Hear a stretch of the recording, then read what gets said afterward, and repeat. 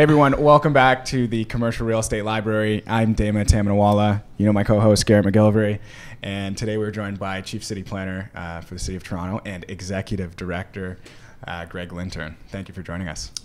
My pleasure. Looking forward to a good chat. Yeah, Uh-huh. us, us too. Good. Um, so uh, before we jump into everything, we want to get right into the You detail. got a lot of ground to cover. yeah, no kidding, Yeah. no kidding. Big Yeah. city. We're here for about, we got four hours booked with them. So I Lots of time. It's not enough. um, um, can you tell us a little bit about, just for context, a little bit about how you got to where you are as the chief planner for the city of Toronto? Wow, that's a great question. Uh, should I tell you about my grade 10 uh, urban geography class? As as much as you want to tell Yeah. us, you're willing to divulge. Yeah. yeah. Up to you. Actually, actually, um, I think I could trace my interest in city planning to my grade 10 urban geography class. Uh, maybe at that time, I want to be architect or maybe a pilot or all those things that kids think about what they want to be. But uh, I got inspired by by that. I would think specifically, and from that point on, for me, it was pretty clear that I wanted to uh, kind of work on cities, whatever that meant meant at that point in time. Mhm. I can remember a project we did where you had to design a city and kind of thinking, oh, this is really cool. And uh, really never looked back. I kind of had a clear line of sight that that's what I wanted to do. Um, but, uh, you know, 35 years later, I look back and it's, it's just a lot of hard work and, you know, um, being interested in what, what uh, uh, comes at you when you do this uh, work and all the change that you get to see and I do like the fact that um, you you uh, experience you know the routine of city of cities, but you also experience, especially in Toronto, a lot of change. And I like thinking about the problems and the challenges that come with that change. Like it's something that I like, or I would say that I love it. So it keeps you it keeps you infatuated. I would hope so. You're the head of the pyramid right now. So I'm very glad so. that you love it. That's what we want. That Yeah. is you gotta love it. that is also remarkable when I think about what I was doing in grade ten and the problems that I What was were you thinking doing? about. Uh, not thinking about Selling my real estate or selling not quite real. yet? Yeah, I was already. I had sold my first building, and then Yeah, I did his first deal. I did my yeah, Yeah. exactly. Uh, no, we won't we won't dive down that rabbit hole. But um, but okay, so, and so now you've been at the working with the city of Toronto for how long now? Uh, 35 years in different capacities, different roles. You Right. know, everything from the photocopier machine on up to the chief planner, what I what I'm doing today. But I've worked in the different geographies of the city, uh, suburbs, downtown, different kinds of projects. So it's it's never been without a change for me personally as well and Mhm. professionally, which helps you in, in any career. Mhm. I think that that kind of uh, change up is good for you. So I've had that opportunity at the city, which is one of the selling points of working for the city is being able to do different things and Mhm. still working in the organization. Right.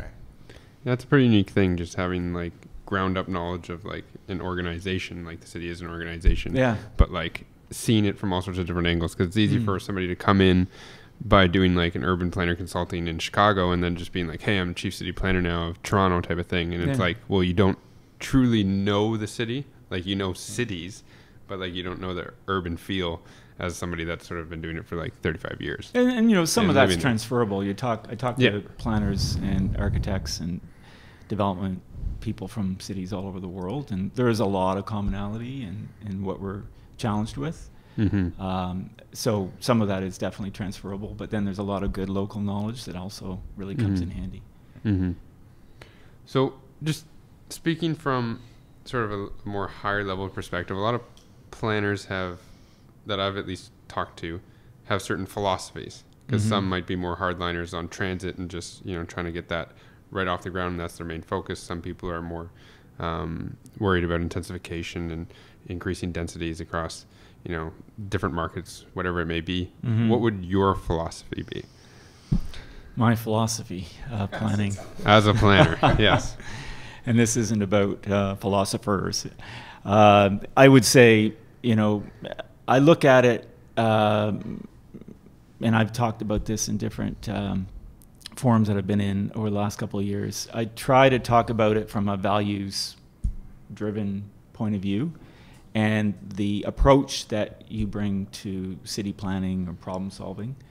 Um, so I've identified some values, and you could have your own value set as a as a professional. Um, but I look at uh, things like uh, humility. I talk to the staff, our staff, a lot about being able to uh, uh, uh be empathetic with with the population of the city of Toronto and understand their daily experience, not to kind of project onto them, but actually to listen to people and understand uh, deeply what they're experiencing. Uh, walk in their shoes. I say that a lot.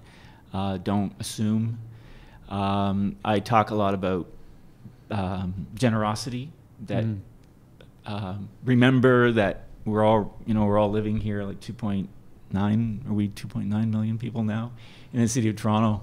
Uh, so we're already kind of living in this concentrated space. We're already already being very generous with our with our lives and our space, and uh, planners have to think about, you know, uh, uh always talking to people about being maybe a little bit more generous, you know, with their space because we're growing and we're inviting more people to live here, and that's that's a challenge. Um, I talk about resilience a lot and how we've tackled problems. I think we have to be aware that we've been able to tackle problems. I'm a bit of an optimist when it comes to being able to tackle some of the difficult challenges that we've got. And resiliency from a climate change perspective is uh, enormous, but also resiliency in just your philosophy of you'd ask about philosophy, your philosophy of life, and knowing that you can solve problems, you have the capacity to solve problems.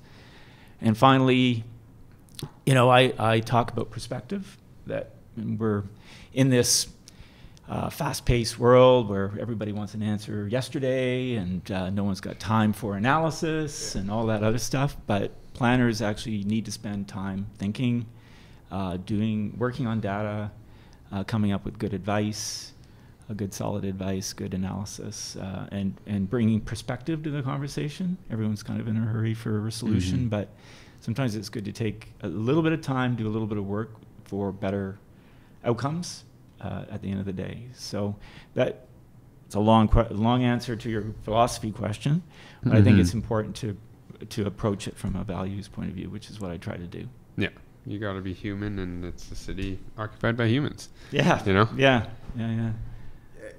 Can you talk about like being at the city for 35 years? Can mm-hmm. you talk about uh, some of the major uh, shifts that we've seen over that time period in planning? Some of the major shifts. Well, I mean, it's interesting to think about uh, the city um, and how, how, we've grown, uh, population. Uh, you know, you, you, use the downtown as, as a bit of a, of a roadmap for that. And uh, I've been working at the city when things have been very quiet, you know, right. through recessions, for example, in the early 90s. Um, we've been on a real run since since that time. Um, probably more than 20 years of growth.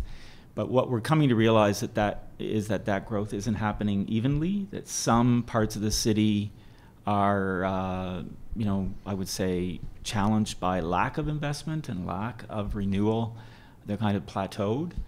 Um, and some areas of the city are kind of almost overheated and mm. have a whole different set of problems around providing the right kind of infrastructure to support that growth. Yonge and Eglinton, for instance. Yonge and Eglinton, mm-hmm. right. parts of the downtown. So um, you kind of, over the course of that period of time, we've kind of gone from, um, uh, you know, a, more of a, of a, of a, people used to say more of a provincial city over a long period of time to much more of a global city that has serious global challenges. And then inside of that is this Toronto story about this unevenness that uh, that I focus on a lot because some of the change that's been happening is focused, you know, where we have our transportation network, the subways. If you look at a map of Toronto, you see a heat map. Literally, you see the development and activity centered around uh, the subway. But you see other areas of the city that don't have uh, good transit, for example, and there is a lot less happen- happening in those areas. Mm-hmm and uh, and we also have a long kind of trend line around uh, income and frankly, racial segregation that people don't talk about as much here. But the data shows that uh, we're increasingly polarized around around neighborhoods that, uh, and again, it's it's about where things are happening and not happening, but areas where um, uh, people are being more uh, separated by their income than they ever have been over Mhm. that 30 year period of time. So thinking, my job in thinking about that un- unevenness is about what we can do in those areas to uh, to turn that around. What kind of stuff can you do to basically turn around like a 30 year polarizing, you know, shift in Yeah. one particular direction? Well, I mean, we've been talking a lot about transit expansion, but Mm. I also use the word mobility. So you think about mobility broadly. You think about, you know, walking, cycling, um, certainly using personal vehicle, uh, transit of all modes, LRTs, buses, subways, um, regional rail. But you think about that as a mobility network and you graph that onto the city and you look for areas where mobility is weak, weaker than other areas. Uh, that tends to correlate with those areas that have been left behind. Mm-hmm. So one way to get at that is to invest more in mobility because that literally uh, becomes a rising tide that lifts other boats um, and brings that access to opportunity to more people than it does currently. Uh, if you use a principle of a 5, 10, 15 minute walk to a higher order transit, for example, and try to stretch that network more and more, um, then you will open up opportunity for more people who haven't traditionally uh, had that. You also open up housing opportunity, housing development opportunity to areas that currently may not have the land value to support redevelopment. Mm-hmm. You know, you guys probably know all about pro formas in your business, but that is behind a lot of what's going on in uh, in the land development business. And some of the math doesn't pencil out in areas of Toronto. Some of it, of course, you can make lots of money, Right. um, but um, some areas it, it, it doesn't attract the, the the investment proposition, if you will. If you bring uh, if you improve transit access, then you improve the opportunity to build housing, both both um, affordable and and not uh, and and market housing. But it, it's kind of a simple equation around if you improve the mobility network, you expand access to opportunity, you bring uh, more investment to more areas of the city, and I think you begin to turn that that trend around. Would, on that note, would there ever be any consideration to just reduce development charges in certain areas of Toronto to kind of lead to that expansion, or you know, at least act as a catalyst? Yeah, I mean that, that the the DC, uh, I would say that's been debated. Right. And there's different schools of thought on uh, varying DCs to provide incentives. Uh, Toronto has never gotten into that business heavily. Um, we've we currently do not charge development charges for affordable housing, rental affordable housing. Right. Um, and that's the one incentive that we have to lower the per unit cost. Uh, other other fees and charges are also exempt. So um, projects like um, uh, our open door program, for example, where we, we package up or bundle up a range of incentives to lower the per unit cost for uh, uh, development of affordable housing. Um, but the other side of the DC coin is about infrastructure, and um, the city has uh, a 10 year capital plan uh, Right. to support growth. So if you want to start giving holidays for development charges, uh, you got to find another way to pay for it. Right. And uh, so that's the kind of tension. You're smiling, but that is the tension in the, in the discussion. Is that we don't want to leave kind of livability behind. Well, let's build housing, but you got to think about all the other things that come with housing to build uh, what we call complete communities. So you need the pipes, you need the roads, the parks, the community centers, the daycares, to, you know, um, make sure that you're building a livable community. If you only build housing uh, because you want to, you know, have a holiday on charges, Right. then what are you going to do to pay for all the other stuff? And we seem to be really good here at the city about growing housing. You know, we're especially on the market side, not so Mhm. good on the affordable side.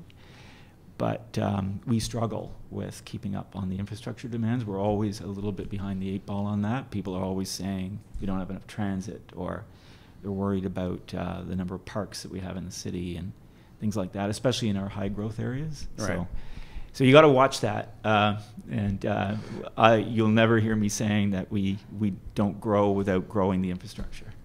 Right. It's uh, it's it's funny asking you these questions because like we obviously have so many questions, but you've obviously thought about all of this stuff for in a a, long time. um, okay. It'll be actually interesting because we're going to be speaking with uh, options for homes Mm-hmm. in I think in a month or something like that. Yeah. So we'll get the Yeah. the lo- load down on all affordable rental uh, units. R- right. And them. Yeah, I mean, you know, the market isn't building affordable housing Mhm. um, per se, uh, by our definition. So, um, and that's that is that's the challenge in a city in a global city like Toronto. It's no different really than some of the other challenges that cities like London or other Mhm. cities have. We're kind of in that family now of cities that have a big global challenge on their hands with affordability. Mhm. Um, and you know, I take the view that we can't supply our way to affordable housing. We we have to have a more direct role for um, some sort of incentive-based um, package um, around relief from fees, um, which we do with Open Door in exchange for uh, affordable. But more directly, you know, w- there were decades a long time ago now where there was a direct government role in, in supporting the construction of affordable. Um, and the market simply isn't doing that on its own. So there has to be more of an investment from the provincial and federal government. Uh, the city is trying to do its part with its, uh, an example of that is the Housing Now uh, Mhm. um, uh, uh, initiative where we're taking city land and we're putting it on the market. Uh, I think the first sites are, uh, have been put out there. Uh, we're actually leading the zoning piece, so we're pre-zoning, which I think reduces the uh, uncertainty for the market. Right. And uh, but in exchange for that, we are saying you got to build us a certain number of units of affordable, and that's the kind of business terms that we're putting out to the market, and we'll see what kind of interest we get from that. But we think that's another way that we can play a direct role, but we would like the provincial and federal government to also play a direct role Mhm. in in advancing. Um, you know, whether it be through their own land or or, or other uh, government uh, supported programs to see the construction of affordable. with uh, with that in mind, so you know, obviously there have been even recent changes, such as Bill 108, which I Yeah. hope we can dive into. Um, but uh, you know, like uh, the deferral of development charges is one thing, right? But uh, but how do you? Um, actually, a better question. Mm. The election was last night. Mm. Um, Jeez. how do you how do you um, do you, do you foresee any changes coming with uh, Justin Trudeau's new term or his interactions with uh, our premier and then their interactions with the city? Well, uh, I think the, the mayor released a statement last night, uh, just uh, putting it on the record again that uh, the city, from our perspective, needs support um, building transit. Um, and uh, areas that I'm involved with, his letter mentioned a number of things, but certainly support building transit and advancing the transit network and uh, support with affordable housing.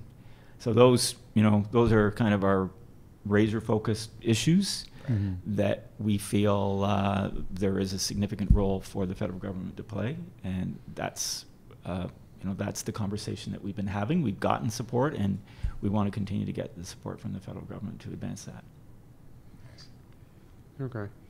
Um, in terms of like the affordable housing front, like, is there any thought to like making it easier to rezone properties to apartment-based uses to obviously increase supply and Yeah. thereby, you know, Yeah. de- raising down demand, potentially lowering the Yeah. exorbitant cost uh, to rent a one bedroom. Yeah, so I mean, that's about housing. No kidding. You know, expanding the choice that's out there for for Torontonians or future residents. We had seventy-seven thousand people come to Toronto in 2018, so we're growing, um, and we project um, upwards of you know close to a million people by 2041, new people. I'm sorry, the city of Toronto, not City of Greater Toronto, Uh, just you know the 416. Wow. Yeah, so it's a lot. And uh, so, what can we do, you know, about that? And, and you mentioned one part of the toolkit, which Mhm. is uh, pre-zoning, which I'm a great believer in. I think you bring certainty to the discussion for the residents of a neighborhood. Let's say you have a discussion on about their main street, and you say, you know, we're going to work on uh, a vision for that neighborhood for mid-rise buildings um, and you have that discussion with with the neighborhood, and you put in place and you pre-zone. Mm-hmm. Uh, we've actually done that. Um, I think 19 of 25 avenue studies we've done, we have pre-zoned that avenue segment, and you can see places like St. Clair, for example, where um, the, there's right zoning for mid-rise, which is between five and 11 stories, depending on the width of the street. Right. But you'll see like 9, 10, 11 story buildings on St. Clair where the zoning's already in place. And that brings, you know, the expectation for the community is they understand what they're going to get going forward into the future. And the ex- expectation for the development side of the equation is that they know what they're going to get. Mm-hmm. So you you hopefully reduce speculation. You know, the land value is set around the expectation that the zoning provides, and you make the process more simple because you know you may need a minor variance or site plan, but Yeah. really it's not a big deal to get that project going quickly and get it to market. So I definitely believe that's part of the toolkit is pre-zoning as much as we can. Um, you see the cranes in the city, you know, I don't know what the last count was, 237, I think I checked some website somewhere. Mhm. Uh, there's a lot of mid-rise and tall buildings under construction, by far and away the most in North America, like by a country mile. Mhm. And um, the the um, so you know people see yeah they see the tall buildings but, and we we getting most of the unit production out of out of the tall buildings I grant you that we're getting a hefty amount out of um, the pipeline for mid-rise I think around 30 35,000 units right now in the pipeline um, there are other things we can do though with pre-zoning on a much smaller scale about making it easier for example for secondary suites so we've changed the zoning bylaw to make that permitted citywide uh, you can, you know, as long as you have a good architect and check the building code, I always say. Uh, Need the can- fire escapes. You need your absolutely 100%. Um, but uh, you can build, uh, you can include a second suite in your house with no parking as of right in Toronto. Okay. Uh, that's new. And I think You there's can build a also laneway suite yeah, as well. What I was going to Yeah, say. yeah, You can build a laneway suite now as a right if you have laneway access, Mhm. obviously. No parking again.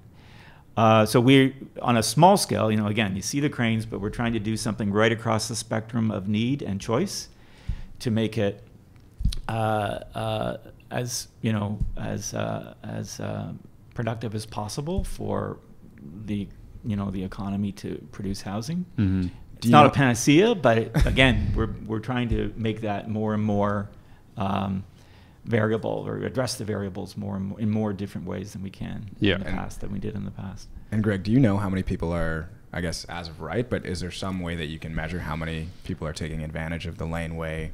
Yeah, uh, actually, we, we just had a, a check-in uh, the, yesterday, I think, or today, and um, it's only been in place for one year, like 12 months, literally. Uh, and uh, we've got about just over 50 building permits issued. So for something brand new, um, and about maybe 115 odd inquiries, like working their way through the review process. Right. So for something that's brand new for Toronto, I'd say that's pretty good. It's not going to produce, you know, thousands of units overnight. That's why I go back to that word I used earlier about you got to Yeah. keep things in perspective.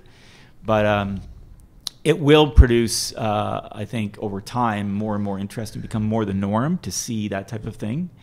And uh, whether you're, you know, you're aging in place and you got kids out out the back in your laneway suite, or you want to put your parents out there and live in the house, or you like your relatives, or you, or maybe you just want to rent uh, to supplement your mortgage. It it opens up something that wasn't previously available. You could always you, and you can do a secondary suite as well. It, let's say in your basement or whatever. So uh, again, it we're we're trying to open that up and make it uh, more permissive. Mm-hmm. So two points on that. First, my brother actually wants to do that exactly, the Oh, yeah? suite thing because he's a Tell ver- him. he's a minimalist, and like he doesn't He use wants- his He wants upstairs. to live in it. Yeah, he wants to live in it with his wife Yeah. and his daughter, and he's There just like go. screw it and then just rent his house. He's a semi-detached near like Christie Pitts, so Yeah. it's like a perfect spot. It's probably him. got a laneway there. Yeah, no, he has one. Yeah. Um, second, I believe I saw a laneway suite for sale in the. I don't know if it, can they be for sale. Can they be severed and so sold? uh, one of our conditions, Great question. because of this issue with uh, changing the character of neighborhoods, was- there's always a bit of attention around uh, land severances. Mhm. So our laneway suite uh, permission um, requires it to be tethered to the house and Mhm. not severed. Okay. So in that respect, it supports a rental, more of a rental Yeah. choice. We can't zone for tenure, but we can certainly set it up so that uh, that's the option. Really, uh, you can sell your house with the laneway Yeah. suite, Yeah. It's but um, we are not. You know, what you're what you're asking there is uh, another tension in the city, which is around um, the whole real estate uh, world and what some people call the financialization of housing, Mm. which is, you know, 30, 40 years ago, it was it was a home, uh, and and 30, 40 years today, it's your retirement. Mhm. You guys know all about that probably. Um, Oh, yes. And uh, so it's become an investment tool more and more. And this has created a real tension around, uh, around how people perceive uh, the housing challenge. Uh, Right. Some people perceive it as a, as a right. Um, and when you think about it, in a, in a, in a society like ours, uh, I think housing is a right. Um, it- certainly, people who are are challenged with housing options uh, would see it that way. Uh, and and when we think of it only as an investment, um, and buying and selling and flipping and all the different things that go on with real estate these days, um, we get away from I think what the public interest is, which is about uh, meeting the housing need of the population. Mhm. And um, you know, in planning, there's always that tension between the public interest and the private interest. It's essentially a big negotiation that's always going on about what happens with the marketplace and what um, what we do with rules and regulations Mm. to temper uh, the market and you know soften the edges sometimes of the, Right. of the Mhm. market. So housing is a big place where all- where all, where you see that playing out more and more. Mhm. Um, s- I got one. Speaking of, uh, we don't have an order to any of these, so we just kind of jump in. But uh, speaking to changing the characteristics of neighborhoods, actually, I have a two part question. Uh, when we talk about avenues, uh, a lot of, like, I grew up in the beaches, Queen Street East kind Yeah. of neighborhoods. We have a lot of those six story buildings from Daniels Corp. and Actually, you don't have that many in the beach, but anyway. not too many. It's getting, Yeah, it's getting, getting there. there, yeah. More Leslieville Yep, kind of area right yeah. now. Um, it- but what we found, like at least from a sales perspective, is that a lot of these developers are they can't make the economics work. They can't make the numbers work Mhm. for just six stories. Is there any, um, you know, is there any consideration to expand that to a higher amount of store, maybe nine, nine to twelve? I know. Um, So I mean, it goes back to what I was talking about earlier about about putting in place as a right zoning so that everybody understands, you know, what you're going to get right. out of a Mhm. development proposition. And uh, we've reviewed different avenues, and there are different scales. Um, Ossington, for example, uh, there's a little pocket there that's quite popular.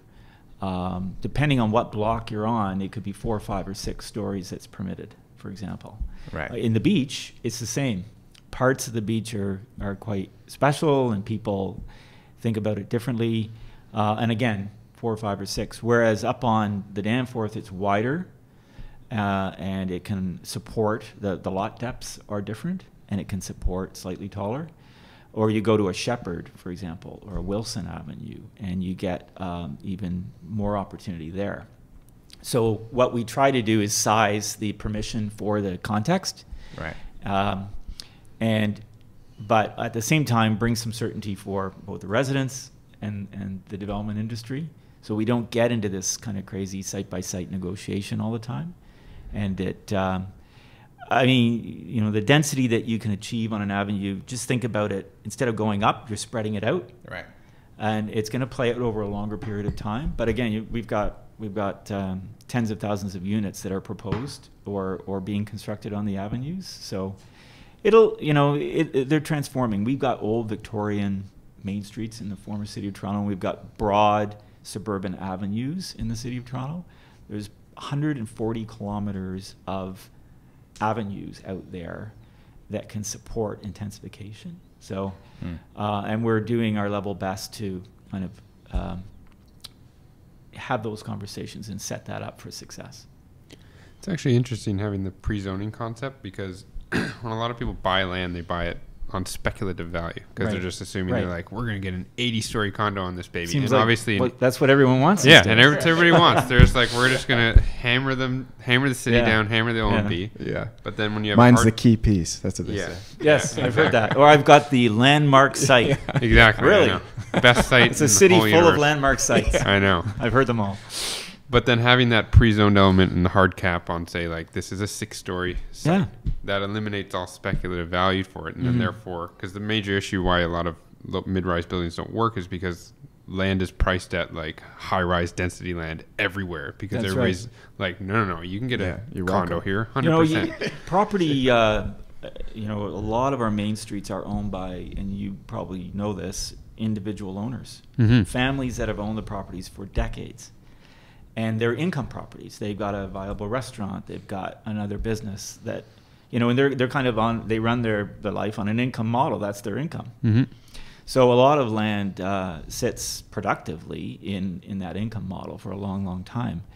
Um, you know, somebody passes away, the the business shuts, the the family decides we don't want it anymore. So you see that dynamic in Toronto Mhm. a lot uh, lately, where where property gets handed down and uh, comes into uh, an option for for redevelopment.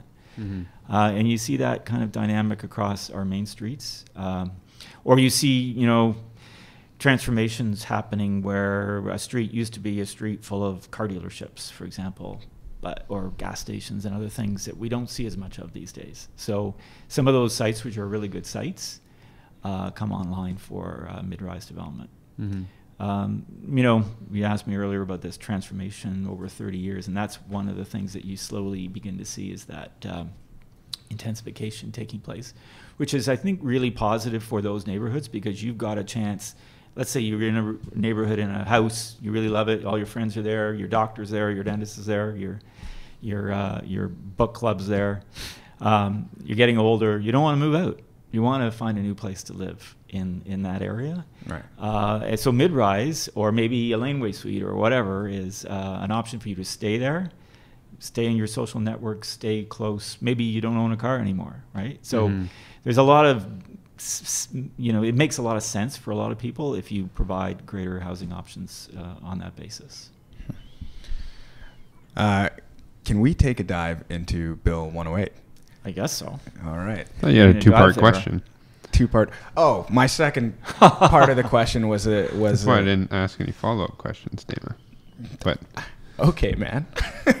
um, the second part of the question was not as serious, but like because you kind of answered it already. But Mhm. you know, you see avenues like the Mhm. Danforth, for instance, that actually have a subway line right there. Yeah. Um, you know, how is do you see a future where that is high-rise territory, and and why not? You know, Yeah. Uh, obviously neighborhoods. Yeah, I mean, I, considered, but- I, I would just say that there's equally um, there's an equally valid uh, opportunity there to spread the density out, and uh, the coexistence of um, our low-rise neighborhoods is with with change along the avenues is something that you're beginning to see across Mm. across Toronto.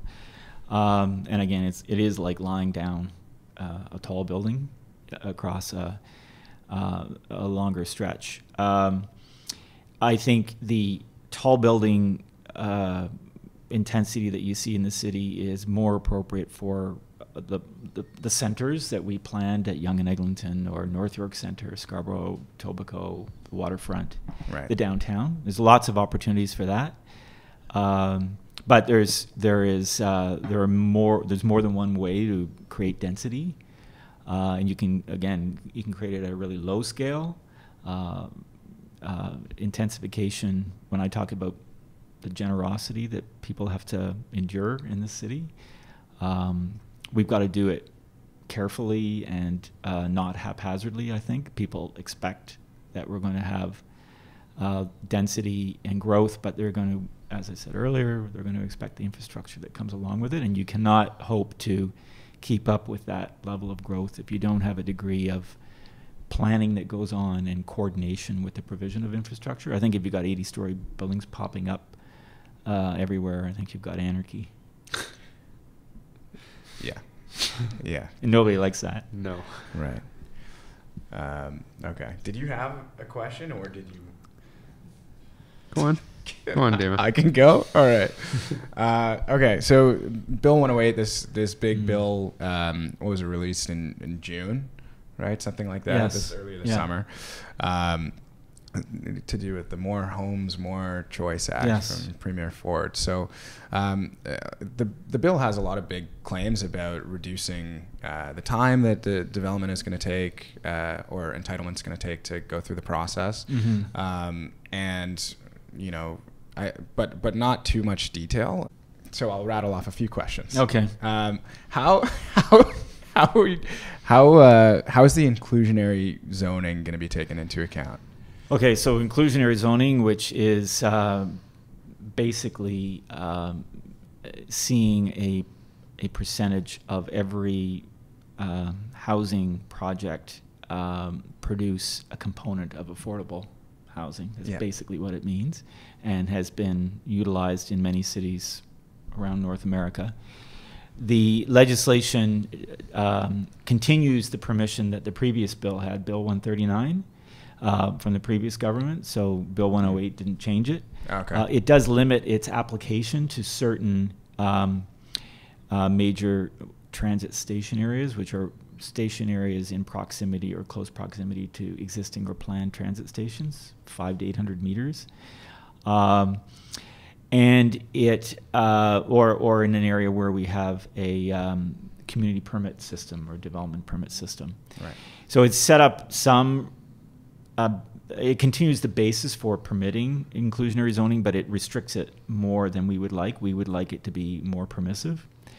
The other uh, issue with inclusionary zoning that the government um, has put forward is that they have also um, changed uh, the municipal um, the provisions of the Planning Act that uh, how, uh, how how we secure uh, and pay for municipal services. So inside Bill 108 is a change to um, three tools: our Section 37 provisions, uh, the Section 42 provisions, which is the parkland provisions. Every development pays parkland levy Right. and thirdly, uh, DCs, soft DCs, so certain kinds of DCs. Uh, the Planning Act change rolls all those three together into something new called a community benefits charge, Right. and um, it's called a community benefits authority. We have to do a background study to set up what that community benefits uh, authority is going to be. Okay. And that will have an impact on inclusionary zoning because inclusionary zoning and the CBC or community benefits charge, they all go on your pro forma. And we want it to work. So we are in the process of waiting for the government to produce the regulations behind the CBC charge so that we can understand the impact on the pro forma, so that we can do the calculations to um, basically roll out an inclusionary zoning uh, package that makes sense. There's, there's no point in putting in something where you've got everybody screaming at you that it doesn't make sense. Yeah. So it has to happen in a certain. it's complicated and it's finances, but it has to happen in a certain order. So the legislation has been enacted, but the regulations have not been produced. Okay. So until the regulations are out and we can do the calculations, we can figure out how it's going to impact everyone. We've been uh, consulting about inclusionary zoning, and we're going to be advancing um, ideas about it. But we can only take it so far before we see the rest of the deal on the CBC charge. If all that makes sense, Yeah, it you, doesn't. You get an A. you you kind of yeah, you you kind of answered like three or four of my questions there in one. Yeah, it's it's all related. Are- Are there any early? So we're still a ways away then. Yeah, But yeah. are there any early seeds of maybe surprises that? No, I don't think so. We published in uh, June a proposal for inclusionary zoning, so people can see that on our website. There is a report that outlines an approach, a general approach for inclusionary zoning, um, and it is kind of mindful of the impact, while at the same time, uh, you know, the city approves uh, on average about twenty-one thousand housing units a year. If we could get a small percentage of that as affordable, we'd be doing really well on that uh, shortfall that we're confronted with by not producing affordable housing. Remember, the market's not producing affordable housing, so we need that government nudge, uh, regulatory nudge through inclusionary zoning to really convert some of that juice into uh, affordable product, so that um, more people can, uh, more people who are in need of affordable housing can their needs can be met. Okay. Um, I stop me if I keep going too far, but uh, Doesn't he get to ask a question? He does, but he's he takes longer, No, I don't take longer. I'm just, I'm just letting it all more sink in. thoughtful. Yeah. perhaps, perhaps. Well, no, because like affordable housing is is so very important because my my girlfriend's sister actually works in London. She works as part of the the housing. I don't know what the organization is called, but she Yeah, assists council people or something. Yeah. g- getting people into affordable housing units, Mhm. basically that are in need. And like the people that she deals with, I'm just like, wow, like they're have not had the dice roll the right way Yeah. for their life Yeah. and like they're struggling and the affordable housing stock is so very limited Yeah. and it's like there's there's a wait list of like 500 people trying to get into these things and it's I mean, we, we have to work hard to retain what we've got. We have hundreds of thousands of rental units in Toronto, Mhm. actually, but they were all built decades ago. Yep. Uh, some of them are actually coming under threat for redevelopment. So we have regulations that require their replacement. Yep. So we work really hard at retaining what we have as as part of the strategy. Um, if you redevelop a site that has an apartment building on it, um, most of them small apartment buildings, we get their replacement as part of the approval. That's Mhm. the way our um, policies and regulations work. Um, but we have to grow it too, right? Right. So you retain and you and you you try to expand it. So you, you're identifying an issue in London that's very similar to here, mm-hmm. and um, you know the, the the the Ontario government and the city, the former city and metro government, actually built, you know, housing decades ago. Um, those are generally the Toronto community housing sites that we have. They're Canada's largest landlord. I think it's sixty thousand units. Um, but some of those sites are revitalization sites. So Regent Park, for example, is another example of how the city can um, use its land resource, um, provided that we, you know, replace and renew those units. And we've been doing that in, in a number of um, what we call revite sites. Alexandra Park, you know, Tridel, I think, is working there. Yep. Daniels has been working at uh, Regent. Um, I think it's Metropia that's working up at Lawrence um, Heights. Great opportunities to kind of reintegrate those housing communities into their surroundings, uh, build new services, new community centers, Right. A lot of those guys. new hou- new housing, market housing, retail. So you're kind of re-knitting those communities back into their uh, into their surrounding communities. A lot of those Just- guys are doing great jobs. Yeah, Too. Like yeah. You know, well, I mean, they're winning Regent awards, and they're they're. Um, I mean, I think people see it for what it is now, which is a great opportunity. I mean, these these buildings were built 40, 50, 60 years ago. They, you know, the roofs are shot, the furnaces are gone, uh, the windows are bad. You're either going to economically, you know, do all that work um, in a building that really isn't the best Mhm. for housing, especially housing families, or you're going to rebuild them from scratch and uh, utilize that uh, land resource, I think, more effectively. Mm. And you know, we're, we're intensifying all of those sites. Those, you know, the population of Regent Park is going way up. Uh, I think 17,000 people are going to live there Wow. when it's all said and done. Uh, so, and and and and you can see similar growth in some of the other areas. So uh, again, it's a it's a really great opportunity to partner with uh, the private sector and get some uh, good community building done. Just narrowing in specifically to the rental replacement units. So when Mhm. somebody obviously becomes a developable site, and then they take down say 15 types of units, everything, and they build a condo, Mm-hmm. um, then they're furnishing say 15 new rental replace like rent referral rental units in that building. Mm-hmm. Um, is there a timeline in which they they don't have to be affordable anymore, or is it like for life type of thing for the life the life? Yeah, so that's generally negotiated. Um, Yeah. I think those terms uh, vary between probably 10 and 25 years. Okay. Um, and those situations all vary. Okay. Well, I'm trying to think of, of what else. OMB. Yeah, yeah. That, great point. How was the how was the transition from um, the OMB to LPAT back to the the new LPAT? How how has that affected you guys? Uh, you know, I think it's too early to tell. The the uh, the bill um, just came into effect uh, just in September 2019. Um, so these these things, y- y- you know, they're very subtle, and you don't uh, you don't notice um, the changes like a light switch going off, um, like you would with a light switch going off. Right. Um, you know, my focus has always been on working with developers, and we've got a lot of really good um, examples across the city of really positive um, collaborations with communities and developers. I talk a lot about Honest Eds or The Well or um, other projects across the city where we've met, you know, the expectations of the community and we've met the aspirations of the developer. Right. Uh, and the OMB stays over there.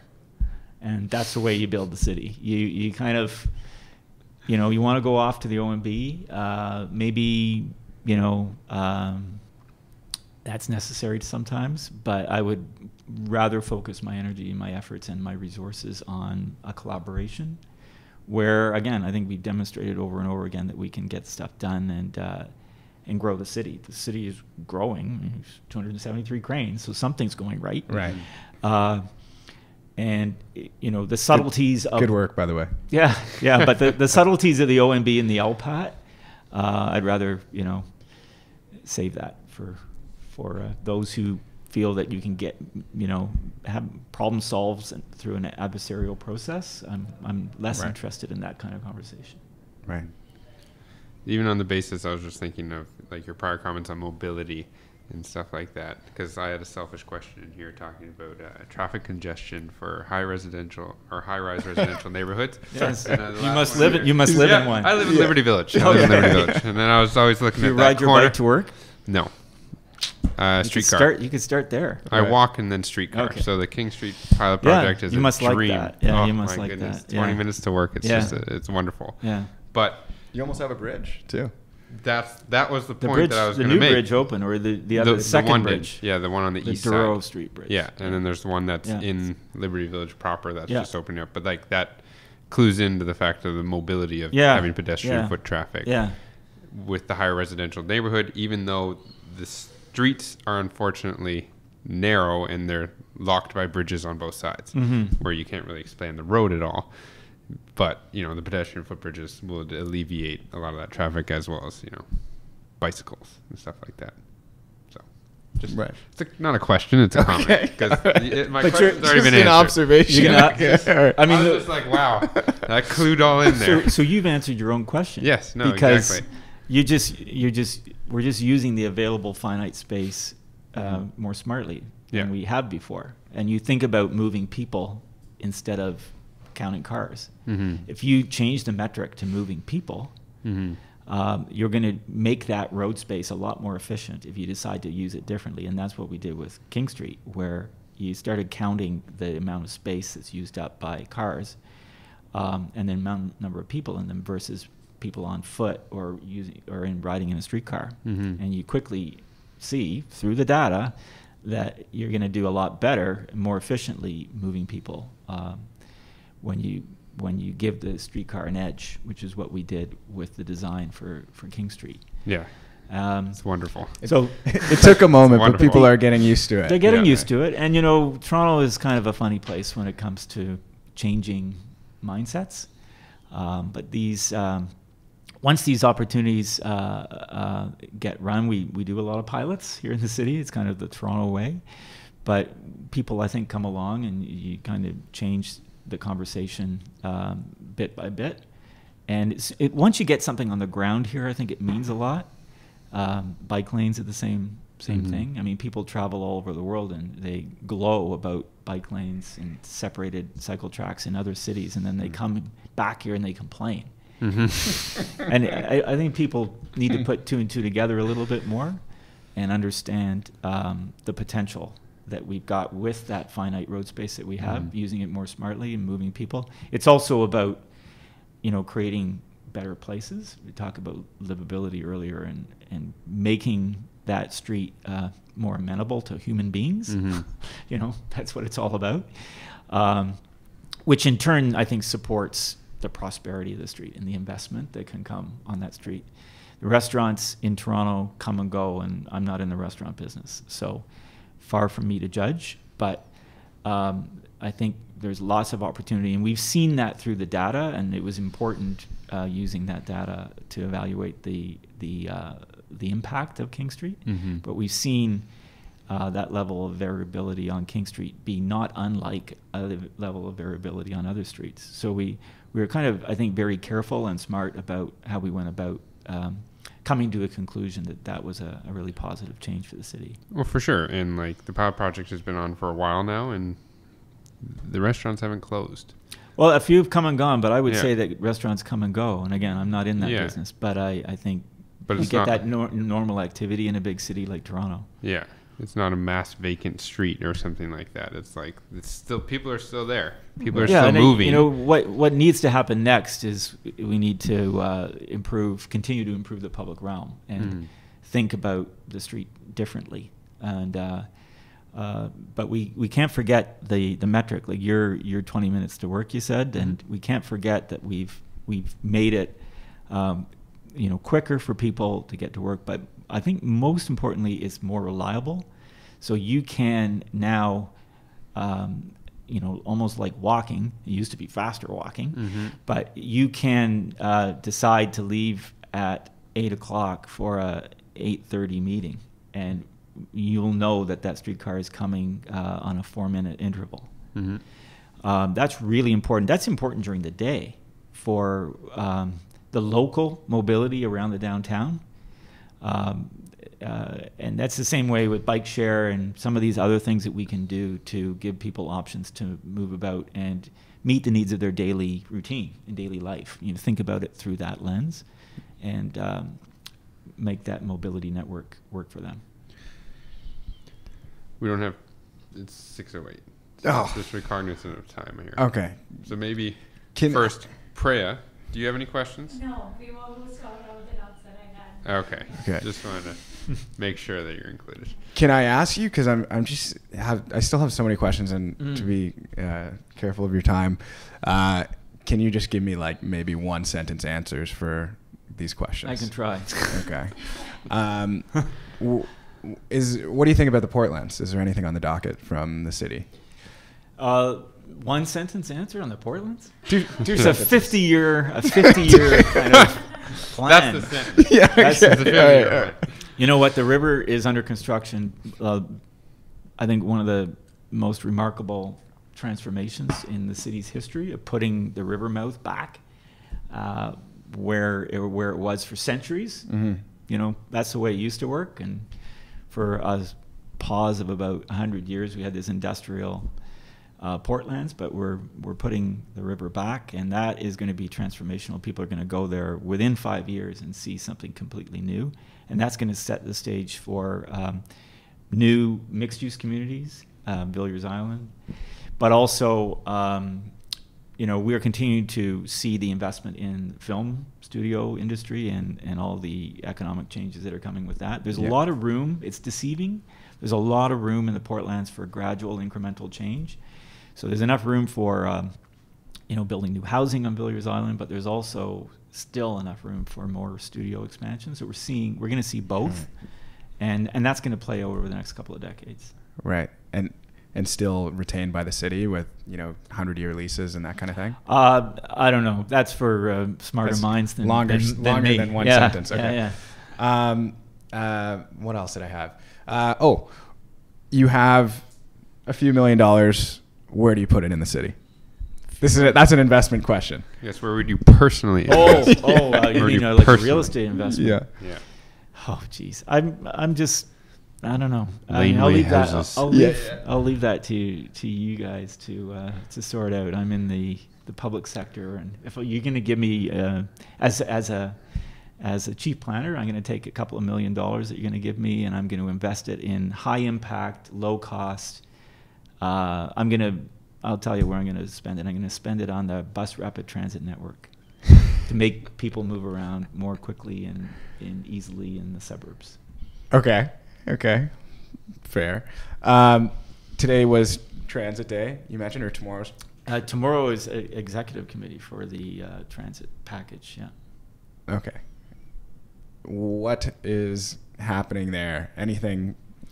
Well, the big? province has proposed four priority transit investments. The Ontario line, which is a version of what the city was thinking about with the North and South Relief Line, Mhm. uh, extending from um, the Science Centre over to Ontario Place, down through the alignment of um, the rail network, in part. Um, also, the Scarborough subway extension, uh, a three-stop version of, of that. Uh, an extension north on the Yonge Line to Richmond Hill and the Eglinton West uh, LRT extension. So those are all projects that the province is going to prioritize and advance. Um, they have announced, uh, and we've reported on the uh, the fact that they no longer wish to upload the subway uh, system. Uh, so we we think um, that in total the the way to go forward is to uh, is to work with them, and we're recommending. Uh, we've done an initial review, especially of the Ontario line, because parts of it are new.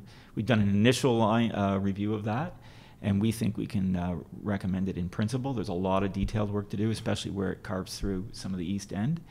Um, but we think there's enough there to work with them collaboratively to advance what's sorely needed in the city, which is uh, uh, an expansion of the transit network.